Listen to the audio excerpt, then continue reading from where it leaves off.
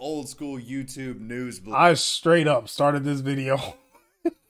I started this shit without the sound on. I looked up and I was like, bro, sound ain't even on. All right, so yeah. Bro, if you've been watching my channel for a while now, you know I like doing deep dives. Oh, into- oh yeah, I was saying it's gonna be a surprise to everybody else, but just like on Twitch, but it ain't gonna be a surprise to y'all because you know y'all finna see the thumbnail and everything by the time it's uploaded to YouTube. To everybody else, it's a surprise. The old school YouTube news blooper videos. Today we're gonna be talking about a video that in many ways mimics the Grape Lady video in regards to its origin date, circumstances surrounding it, and viral spread. We're talking about the news reporter turns ghetto in three seconds video. The fuck is that?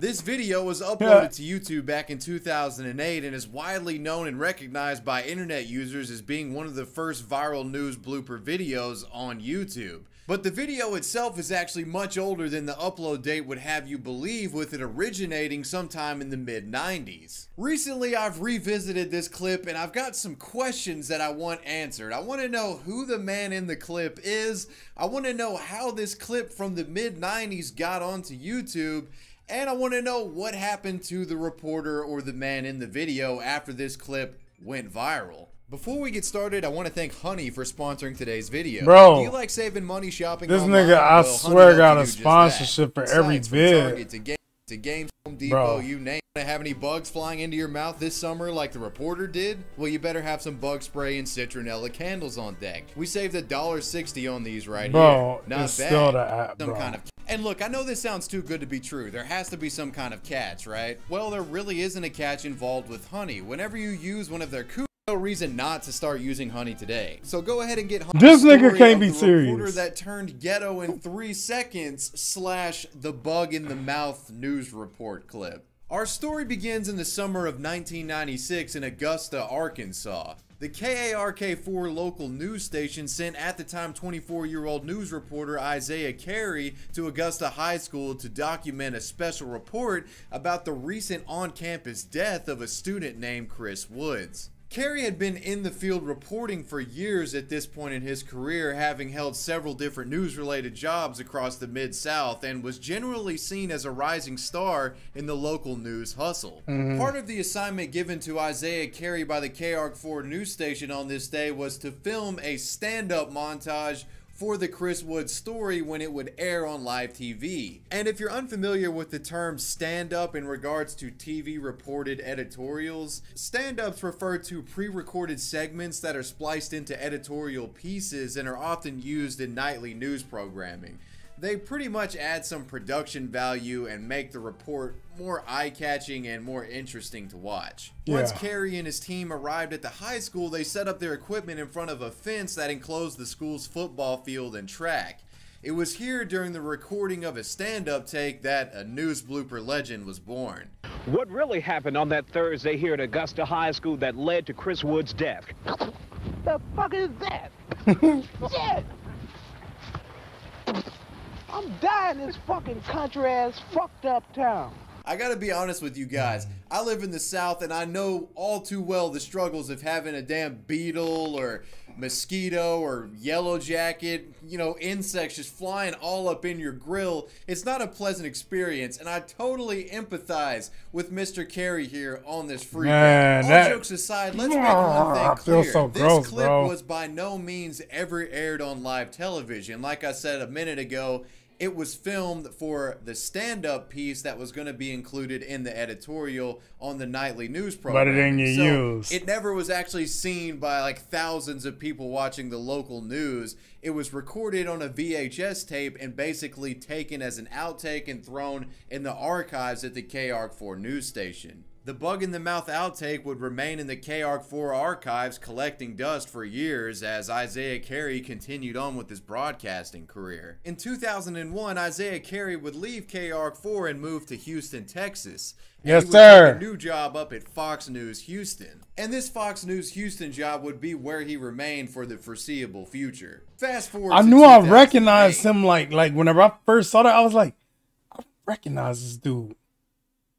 It's cause my mom always watching the damn news and shit at home and fucking recognize that shit. Isaiah Carey is still working for Fox News Houston and at this point has his own nightly reporting segment called The Isaiah Factor. Things were going well for him career wise, and he had maintained a rather spotless, clean cut reputation in the industry. getting old, though, However, man. trouble was brewing. In June of 2008, Carey received a phone call from a friend who worked at a local Houston radio station. The friend informed Carey that someone had uploaded an old video clip of him cursing while reporting the news, and it was going viral on a website called YouTube. At first, Carey thought his friend was joking, but his friend sent over a link to a YouTube video titled News Reporter Goes Ghetto in 3 Seconds found on the Nut Crusher Nigel YouTube channel. And to his shock, this video that was going viral on YouTube was the old outtake from the Augusta High School stand-up take back in 1996.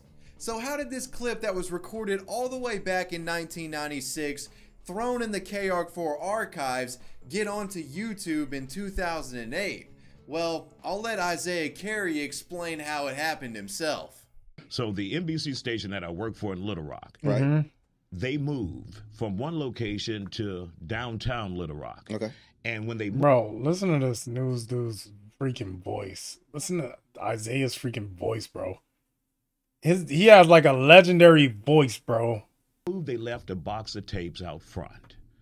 And so this guy who plays in this alternative rock band or cover band Yeah. was walking by at like three, four in the morning. he said, "Let me open this box and see what's in it." Yeah. So he took a couple of the VHS tapes home, Right. watched it, saw my video, Yeah. and put it on on the internet. According to an article by the Arkansas Times, the person that found the collection of archived KARK4 videos is a musician named Donovan Suit.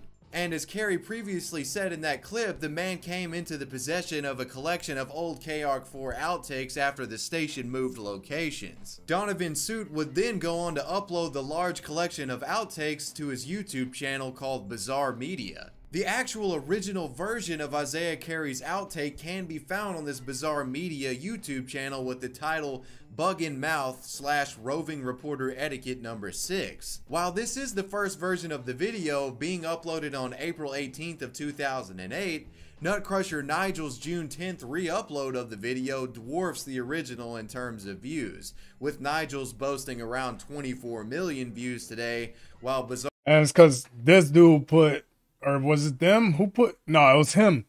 He put Black Reporter Goes Ghetto in three seconds.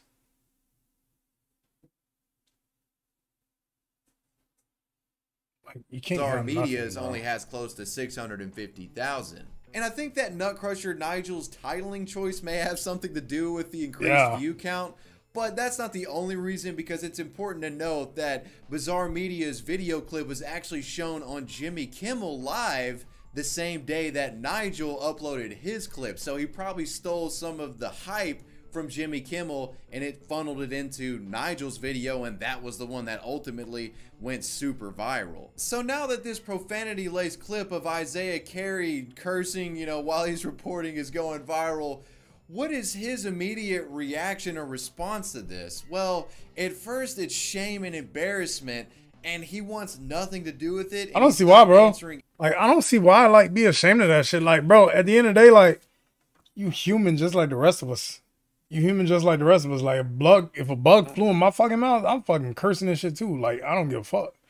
Like the fuck? Like you're human. I get like be professional and shit. I don't care. You get the richest fucking most wealthy person in the world. Let a bug fly in his fucking mouth. I guarantee you gonna be like, what the fuck? I guarantee you gonna say that shit. And if he's fucking, if that shit fly in his mouth and he start chewing it and shit, I'm sorry. I don't, I don't know where that came from. But I guarantee you gonna be like, what the fuck, bro?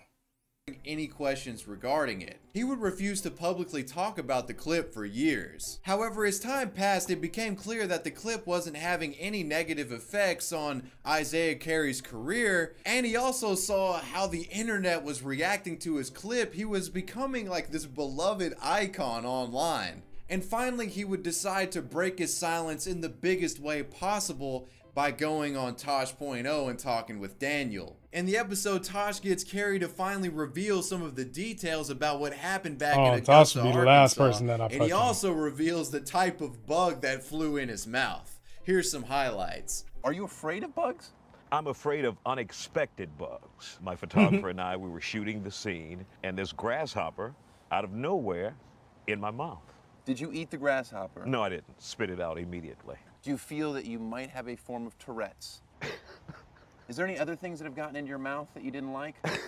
Would you consider Bro. what that grasshopper did to be a hate crime? Since the Tosh interview in 2011, Bro. Isaiah Carey has spoken about the bug in the mouth incident on numerous platforms, and it seems like he no That's longer good. views it as this shameful blemish on his career. So he hasn't had any new profanity laced outtakes be released onto the internet without his knowledge.